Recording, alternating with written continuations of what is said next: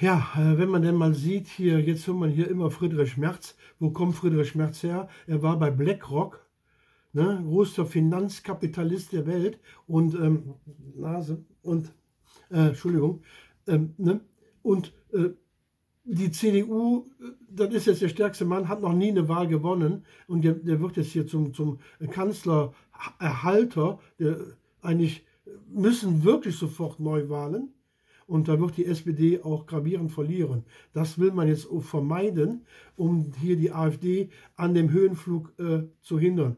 Aber ich habe die große Befürchtung, dass das nicht klappen wird.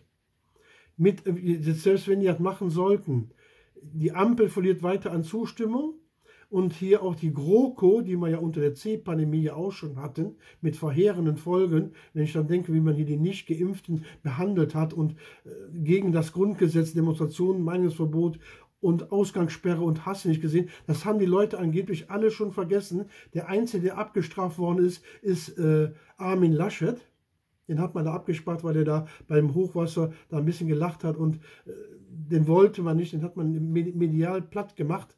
Ähm, aber jetzt hier ist die Medien, keine Ahnung, wie die jetzt darauf reagieren, bin mal gespannt. Und äh, die haben ja die vierte Macht hier im, im, im Land äh, wenn die alle die Füße still haben oder, oder alle mit, mit diesem einverstanden sind. Hier kleben die, die Personen an ihren Machtstühlen es ist unfassbar. Es tritt überhaupt keiner mehr zurück. Keiner nimmt die politische Verantwortung, wie jetzt hier die, unsere Nancy Faeser äh, verliert die Wahl da in, in, in Hessen haushoch und bleibt trotzdem noch Innenministerin und äh, zieht da keine Konsequenzen raus, weil das zwei paar verschiedene Tätigkeitsfelder sind.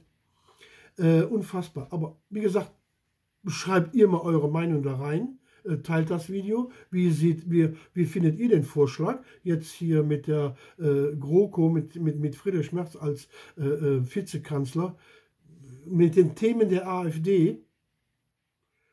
Unfassbar, wie sich das alles hier äh, zuspielt, was hier alles für Möglichkeiten passieren.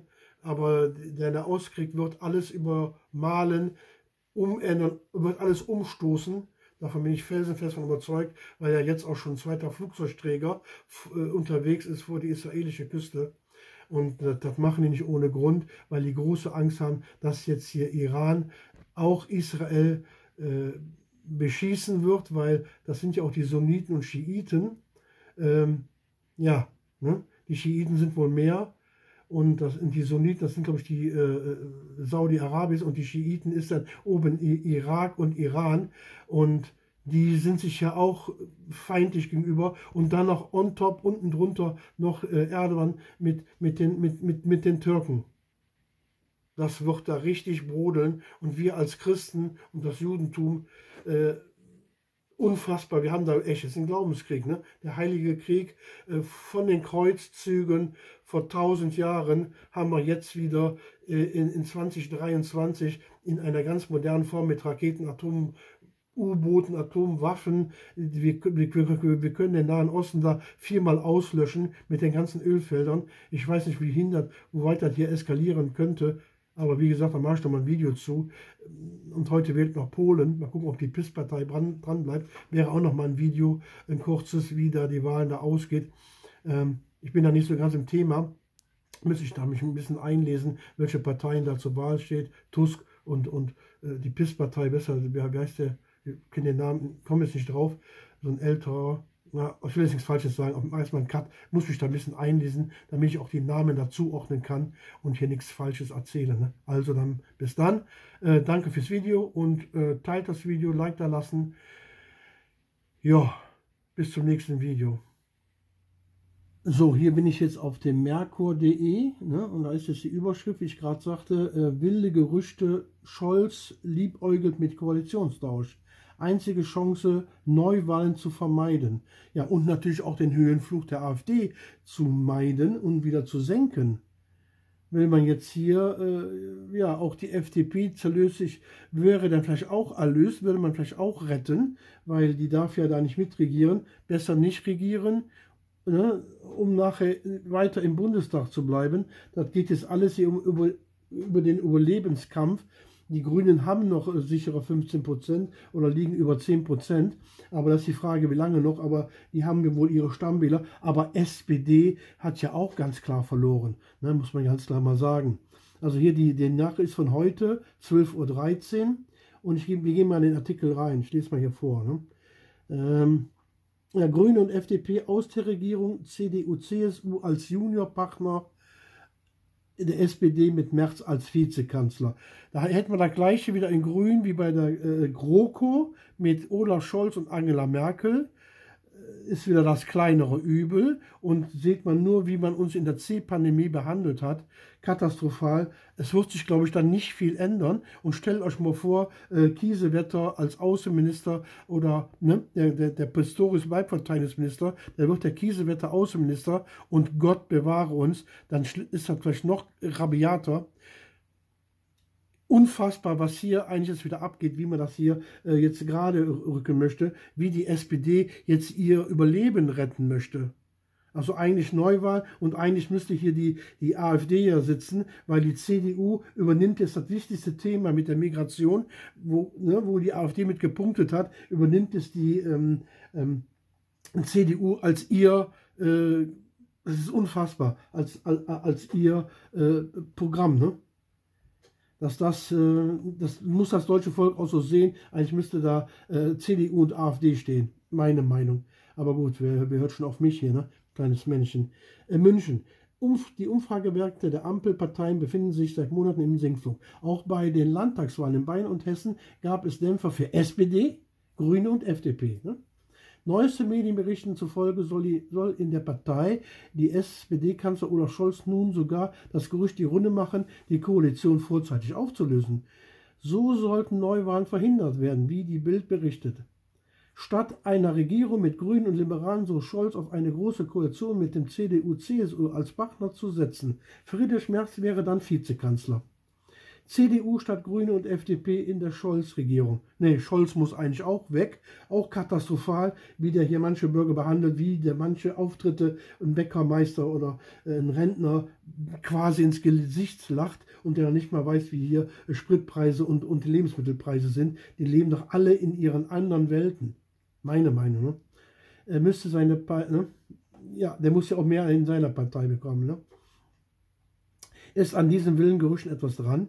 Experten sind geteilter Meinung. Professor Jürgen Falter von der Uni Mainz erklärt gegenüber Bild, dass der Wechsel der Koalitionspartner für Scholz sicherlich in Anbetracht von allen anderen Streit ein aparter Gedanke sei. Aber umsetzen lässt er sich, so glaubt er nicht. Selbst wenn Scholz den Plan etwas abgewinnen könnte, um so vielleicht länger Kanzler zu bleiben, spielt laut Falter wohl die Partei nicht mit. Scholz müsste für diesen Plan auch seine Partei und seine Fraktion Fraktion gewinnen. Das halte ich für ausgeschlossen. Die Sozialdemokraten stehen den Grünen, ja, ja in vielen Fragen oder in allen Fragen, das ist das, ne, näher als äh, die Union, analysiert Falter. Hier ist Merz mit Scholz. Ähm, die Hälfte der Deutschen wünscht sich laut Spiegelumfrage eine neue Ampelkoalitionsvertrag. Nee, eine neue Regierung 57 ne? Prozent oder 67, vielleicht noch viel mehr, also 67 Prozent der Bevölkerung ist für Neuwahlen. Ja, die Ampelparteien klagen über ständigen Streit, doch dieser wäre laut Falteranalyse auch wohl zwischen SPD und CDU an der Tagesordnung. Kann ich mir auch gut vorstellen. Ja, eine CDU in der Scholz-Regierung einzige Chance, Neuwahlen zu vermeiden. Auch Politexperte Professor Heinrich Oberreuter von der Universität Passau spielt das Szenario durch und hält es zumindest mittelfristig für nicht ganz ausgeschlossen. Aha, Zitat. Zu gegebener Zeit wäre es die einzige Chance, Neuwahlen zu vermeiden, für die die SPD katastrophal ausfiel. Scholz könnte diese Strategie seiner Partei als Bestandserhaltung verkaufen, als Verbesserung der Ausgangsposition für 2025. Ja, Zitat Ende. Danach finden wieder Bundestagswahlen in Deutschland statt. Damit es wirklich zu einem Szenario kommt, müsste vorher eine weitere Destabilisierung Deutschlands passieren sein wird sowieso passieren. Ne? Als Beispiel nennt er Zuspitzung der Wirtschaftskrise, äh, unbeherrschbare Migration haben wir jetzt schon, ja, gar nicht mehr kalkulierbar, die Clans kriegen wir gar nicht mehr eingefangen. Lasst hier ein Bombenattentat auf eine Synagoge passieren, ist Deutschland im, im nackten Chaos, kriegen wir vielleicht eine Krisenregierung. Das wird vielleicht eh passieren, dann gibt es keine Wahlen mehr. Ne? Da wird, wird alles hier kalt gestellt. Ich weiß nicht, wo das alles sich hin entwickelt.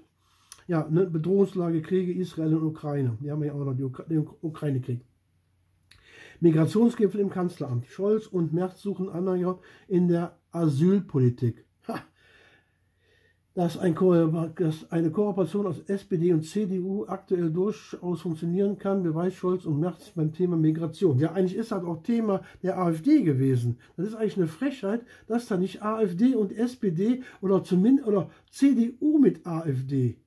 Äh, ja, aber wir werden sehen, wie sich das alles entwickelt und dann wäre wir die AfD größte Oppositionspartei und dann wird dann weiterhin denen hier Vertretung im, äh, als Bundestagspräsident äh, ne, Stellvertreter wird dann weiter ver, ver, verhindert und sonstige Vorzüge einer Partei, die im Bundestag sitzt, diese Stiftungsgründung, das Stiftungsgeld wird ja auch von den Allparteien verhindert. Seit fast, seit 2017. Ne? Alles unfassbar, ne? Äh, beim Spitzengespräch am Freitag, 13. Oktober, mit dem Chef der Ministerkonferenz Boris Reim, CDU und Stefan Weil, SPD, mit dem Kanzler war auch Merz vor Ort. Er nahm an, er nahm an dem mehr als zweistündigen Gespräch im Kanzleramt teil. Merz und Scholz hatten dabei zunächst vier Augengespräche geführt. Den regieren CDU, Asylrecht, Maßnahmen gefallen. Ne? Und wenn man, wenn man mal, ich halte mal wieder um,